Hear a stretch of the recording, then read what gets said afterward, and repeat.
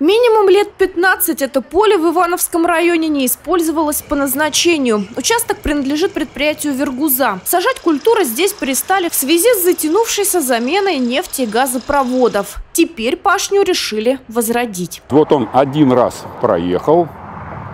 После этого мы еще как минимум две обработки, но более легкими баранами, более скоростными, чтобы побыстрее, так сказать, это дело проходить. После этого специальный посевной агрегат, тоже с крупными дисками, он пройдет, уже третий пойдет сев на третий раз.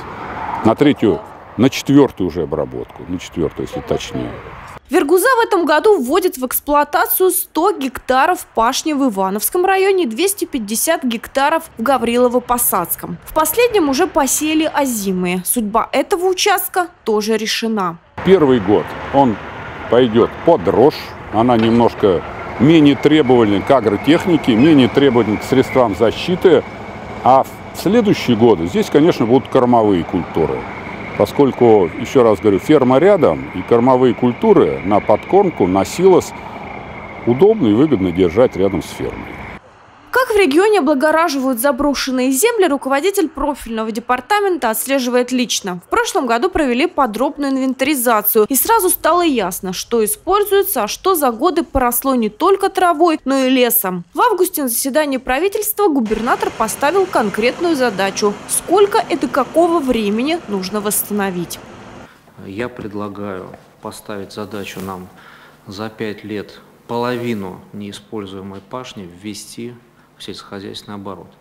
Мы считали, э, это сложная цель, амбициозная, э, непростая, но достижимая. И перед тем, как э, это объявить, мы несколько раз сверялись, будет, будет непросто, но надо работать, засучив рукава.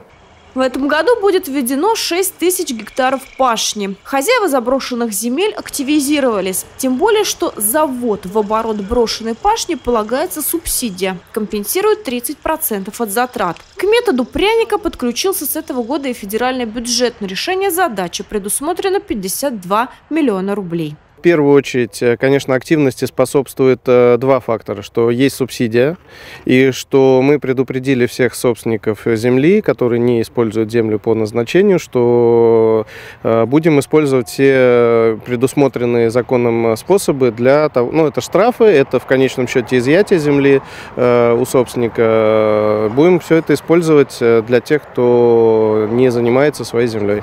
Если три года собственник участка предписания контролирующих органов игнорирует, то землю могут изъять. В этом году в обработку залежных земель активно включились 40 предприятий. А в этом году включились 14 районов, но есть еще на следующий год э, несколько районов, кто будет э, вводить землю. Наиболее активный э, у нас в этом году по площади Юрьевецкий район.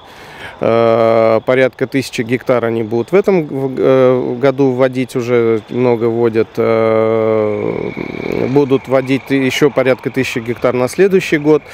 Ну, я хочу сказать, что востребованность будет, я думаю, с каждым годом расти, потому что у нас и инвестиционная активность тоже растет. И, естественно, Э, инвесторы, которые приходят в область, они смотрят в первую очередь э, на те земли, которые не обрабатываются. Работы по облагораживанию пашни будут вестись до самых холодов. Зимой, там, где это потребуется, займутся вырубкой молодняка. На будущий год запланировано ввести в оборот еще больше – 8 тысяч гектаров.